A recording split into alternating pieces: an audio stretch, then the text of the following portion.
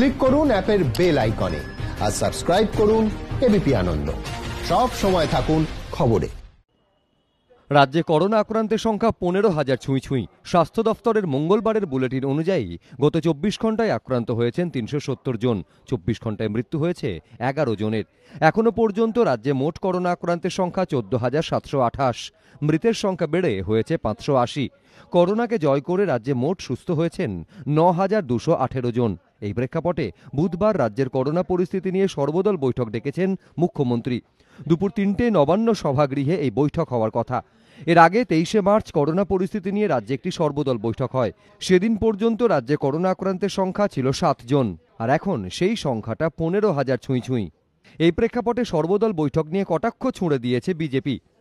আমি কয়েকবার চিঠি দিয়েছি আপনাদের এবং অন্যান্য চ্যানেল সেটা প্রচারও করেছে যে সর্বদলীয় বৈঠক ডাকার জন্য। কিন্তু মুখ্যমন্ত্রী সর্বদলীয় বৈঠক ডাকেননি। এখন শেষ লগ্নে সর্বদলীয় বৈঠক, অর্থাৎ যখন রুগী প্রায় কমায় চলে গেছে, তখন ডাক্তার ডাকছে। ঠিক ব্যাপারটা তাই। এই সরকারের সর্বদলীয় মিটিং, আমি মনে করি একটা আই ওয়াশ ছাড়ার কিচ্ছু নয়। কে কার মুখ আমি তাই জানি না। অল পার্টি মিটিং, সর্বদলীয় মিটিং অত্যন্ত একটি ভালো পদক্ষেপ আমাদের সরকারের। মুখ্যমন্ত্রীর তার সদিচ্ছা তার লড়াই সবাইকে নিয়ে লড়াই করার ইচ্ছায় প্রকাশিত হয়েছে। এর বাইরে গিয়ে একটা শব্দ আমি ব্যবহার করব সর্বদল বৈঠক নিয়ে সুর চড়িয়েছে সিপিএম কংগ্রেসও। উনি আমাকে ফোন করার সময় পান। ব্যস্ত মানুষ তো। দিলীপ ঘোষকে সময় পান। আমি যাব না। আমাদের দলের পক্ষ থেকে প্রদীপ ভট্টাচার্য যাবেন আর আমাদের পরিষদীয় দলের পক্ষ থেকে অসীম মিত্র যাবে আজকে যখন তিনি মিটিং ডাকছেন তখন তো যে পারপাসে রাখতেন তার শেষ অধ্যায়। আমরা পজিটিভ কথাই বলতে যাব সঙ্গে সঙ্গে ত্রাণ লুট দলবাজি তার হিসেব পুঙ্খানুপুঙ্খভাবে আমরা চাইব সরকার ফেইল্ড সরকার ব্যর্থ সরকার এ কথাটাও আমাদের স্পষ্ট করে দিতে হবে।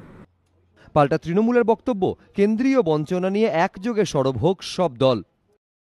এটা অত্যন্ত দুর্ভাগ্যজনক যে বঞ্চনার পর বঞ্চনা বাংলার ওপর চলছে। বাংলা কি ভারতের বাইরে?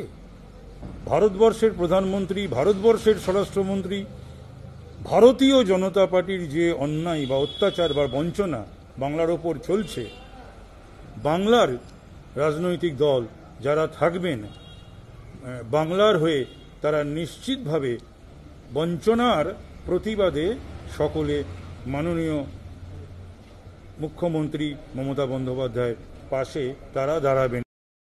রাজ্যের মধ্যে মৃতের সংখ্যা নিরিখে শীর্ষে রয়েছে কলকাতা। মৃতের সংখ্যা নিরিখে দ্বিতীয় স্থানে রয়েছে উত্তর চব্বিশ পরগনা। তৃতীয় স্থানে রয়েছে হাওড়া। রাজ্যের মতো দেশেও লাফিয়ে লাফিয়ে বাড়ছে করোনা আক্রান্তের সংখ্যা। কেন্দ্রীয় স্বাস্থ্য মন্ত্রকের পরিসংখ্যান অনুযায়ী, মঙ্গলবার পর্যন্ত চব্বিশ ঘন্টায় দেশে মৃত্যু হয়েছে তিনশো বারো জন করোনা আক্রান্তের। এখনও পর্যন্ত দেশে মৃত্যু হয়েছে মোট চোদ্দ হাজার এগারো জন করোনা আক্রান্তের। চব্বিশ ঘন্টায় করোনা আক্রান্ত হয়েছেন চোদ্দ হাজার নশো তেত্রিশ জন। মোট করোনা আক্রান্তের সংখ্যা চার লক্ষ চল্লিশ হাজার দুশো পনেরো জন। মৃতের সংখ্যা নিরিখে দেশের মধ্যে শীর্ষে রয়েছে মহারাষ্ট্র। এবিপি আনন্দ।